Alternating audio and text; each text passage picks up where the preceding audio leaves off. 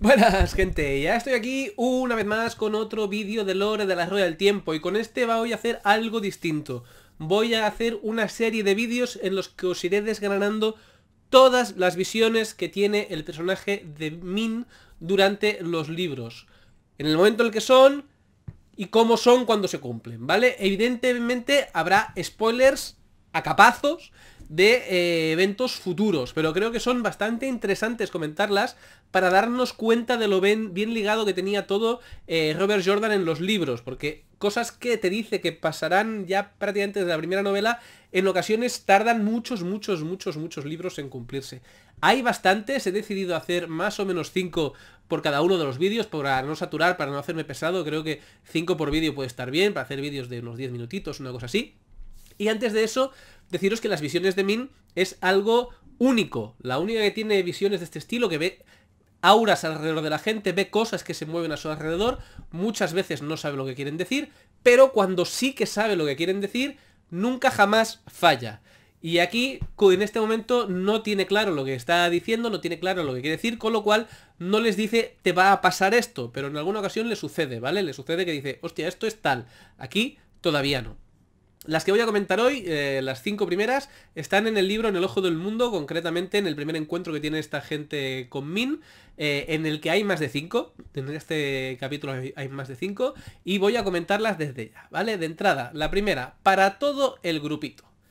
Chispas que se agitaban en torno a vosotros, cientos de ellas, y una gran sombra, más oscura que la noche cerrada. Es tan potente que casi me extraña que no la perciba todo el mundo.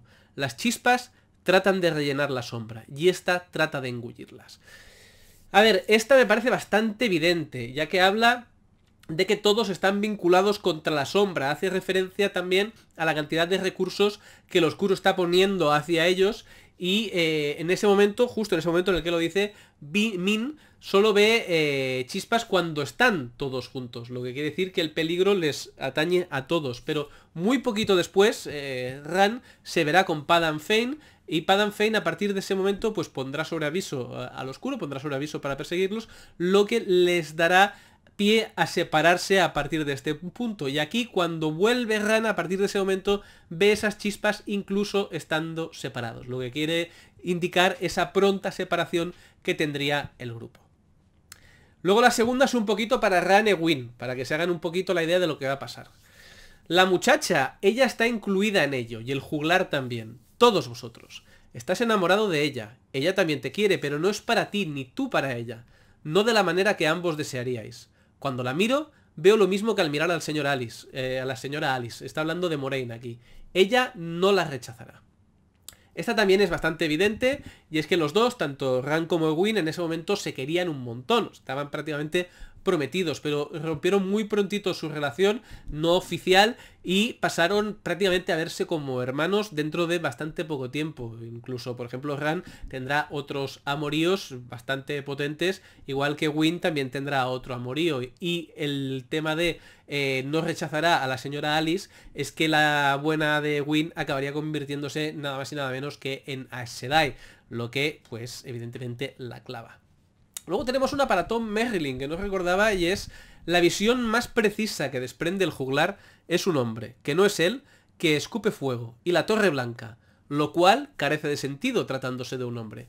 Aquí, aquí hay dos posibilidades, ¿vale? Por un lado tenemos que el que hace malabarismos con fuego podría ser eh, Matt, podría ser Matt, por el tema de la pólvora que acabará descubriendo y lo que utilizará eh, ella a posteriori. O podría tratarse del sobrino de, de Tom, que sería cuadraría más, porque el sobrino Owen pues eh, fue a la Torre Blanca, hacía, hacía malabares con fuego en cuanto a hacer el encauzar, o, eh, pero bueno, pero eso es del pasado y como las visiones de Min hablan del futuro, igual, igual habla Igual habla de Ran, que también hace malabares con el fuego, también acabará pasando por la Torre Blanca. O sea, se puede, se puede referir a gente relacionada con Tom, eh, que los dos más relacionados acabarán siendo Matt y Ran, con lo que pueden ser cualquiera de los dos, que cuadrarían los dos, o puede ser el tema del pasado de, el tema del pasado del mismo Tom. Como el pasado no es, pues debe ser uno de estos dos. Yo me, yo me decanto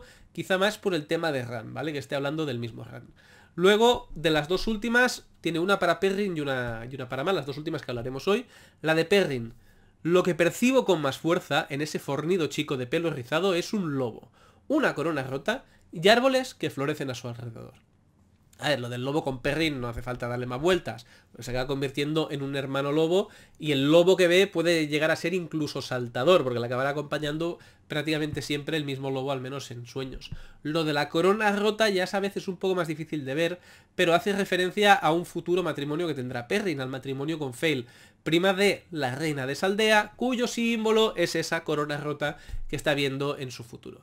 Y por último, lo de los árboles, quizás lo más críptico y lo menos claro, no, no acabo de estar seguro, pero yo apuesto porque hacen referencia a la familia de Perrin, que está enterrada en su huerto de, de manzanos y que eh, podrá volver a florecer esos árboles después de la última batalla, ¿vale? Pero mm, esta última no la acabo de tener yo muy clara.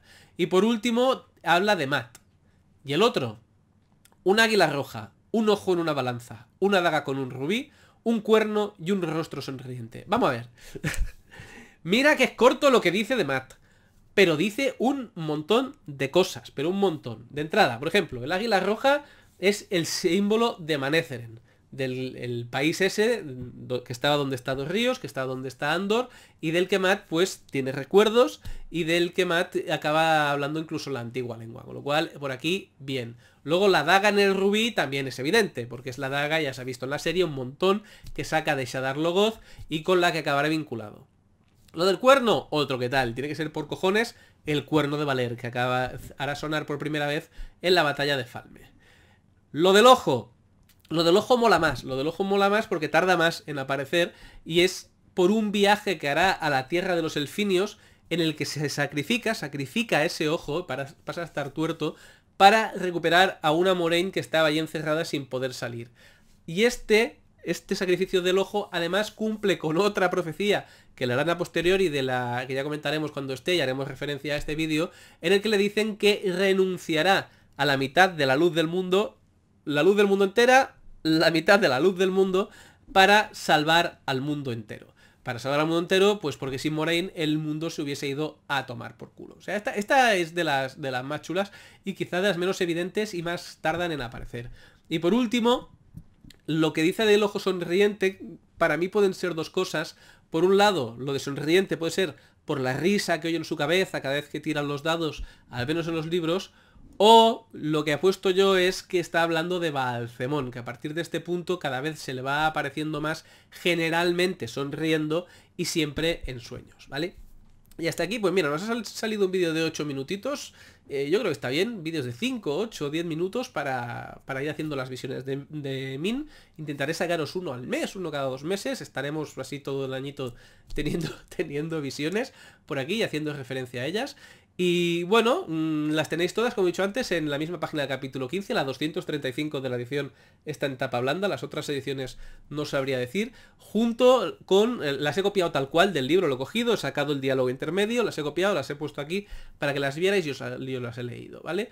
Eh, hay más, hay alguna más, incluso en la misma página, y luego hay en el capítulo siguiente, creo que unos cuantos capítulos más adelante vuelven a salir, y las trataremos en capítulos posteriores, que ya os digo que no esperéis que sean muy seguidos y que irán alternos con otros vídeos de lores. Pero espero que puedan salir vídeos bastante chulos, bastante interesantes, y que por lo menos mola ir repasando las visiones de Min. Me, me he planteado hacerlas todas en, el mismo vídeo, pero a la que he visto, la, de visiones que había, me he puesto a repasarlas, eh, que hay prácticamente en todos los puñeteros libros. O sea, en este, en este primer libro hay una, dos, tres, cuatro, cinco, seis, seis, seis, seis, siete, ocho, nueve, diez, once, doce, trece, trece... Ah, no, me he colado. Esto es del siguiente libro. Son seis del primer libro, seis y siete, ocho. Creo que no las he contado mal. Hay ocho ya solo en el primer, en el primer libro. Con lo que el próximo vídeo haremos tres del primer libro y dos del segundo, ¿vale? En fin, que muchas gracias por llegar hasta aquí, que al final siempre me acabo enrollando. Espero, dejadme comentarios si este tipo de vídeos os pueden gustar. Son vídeos que están, a mí me, apetece hacer. Así que eh, aquí estarán. Nos vemos en el siguiente. Hasta prontito y adiós.